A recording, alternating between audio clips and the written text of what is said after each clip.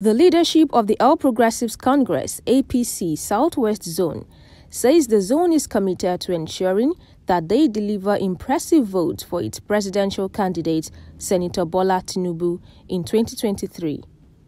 They made their stance known while addressing the media after a closed-door meeting of the APC zonal executives at the party's secretariat in Lagos. You know, you know, very near are close by. We are just working ahead of time to proactive, to sensitize our people on the need to vote our candidates. The, luckily for us, for the first time in recent years, we have candidates coming from Lagos State. We have reasons to vote for. We have landmarks what we are pointing at. We are just meeting as a party to strategize and plan ahead of our elections. Is that we have to vote. That's why Bola Tinubu vote APC in all elections. It's the only choice we have. And that's the best we can have at this point in time. There's no alternative to it. How do you compare them where from where? When you when you when you say oh, oh Nigeria is not industrialized, no employment, nothing. People just talk on radio on, on, on, on social media. Anything you want to change in Nigeria, tell us how you want to change it. Don't just say I want to change this, change this. What how do you want to achieve so? So these are deceit. And we'll move away from deception. The National Vice Chairman of APC Southwest, Mr. Isaacs Kekemeke, said that the party was working on new campaign and mobilization strategies for youth, women, and others at the grassroots.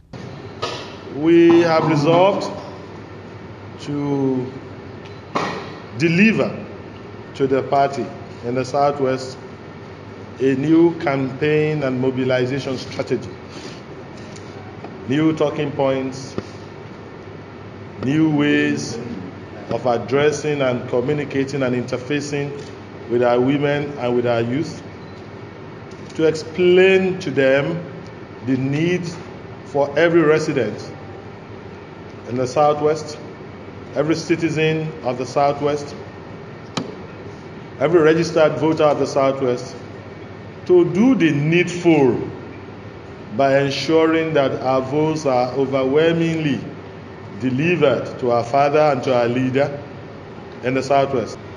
The good thing about this election is that you can't chance people because there is time for people to check what you say and to answer to what you say. Um, you know, the Yoruba say that I'm, I'm sorry, rọ́bà lọ fún Odito will catch up with it. You can't fool the people for too long. Not even in these times. Uh, the truth will come.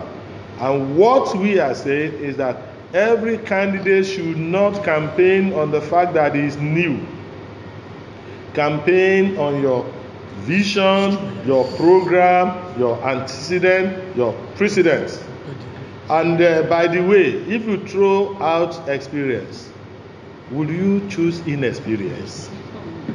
Does it sound that we people are thinking of throwing out experience for inexperience?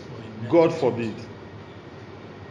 Experience is still a better choice, a better option, a better alternative to inexperience.